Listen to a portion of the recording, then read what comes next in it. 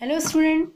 Today we will do the topic use of is, am or are. Is, am, are are helping verbs. Is is used with singular nouns and pronouns. Are is used with plural nouns and pronouns. Are is also used with you. Am is used with I. Let me understand this concept with exercise. First question is you dash my friend. Now R is used with you. So you are. You are my friend. The next question is I dash busy today. Am.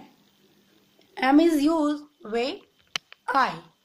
I am. The next question is She does very naughty.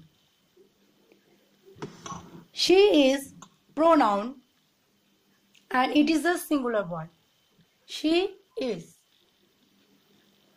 very naughty. The fourth question is Hari dash a teacher. Hari is singular word and it is singular noun. So Hari is a teacher.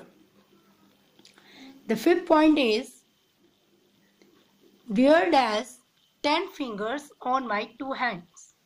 Fingers. The fingers is is a plural noun and it is a plural words 10 fingers so there are are 10 fingers on my two hands. The question number 6 Rita and Payal dash my classmates. Now Rita and Payal these two words that is plural words and plural nouns Rita and Payal these are plurals. So Rita and Payal are my classmates. Thank you.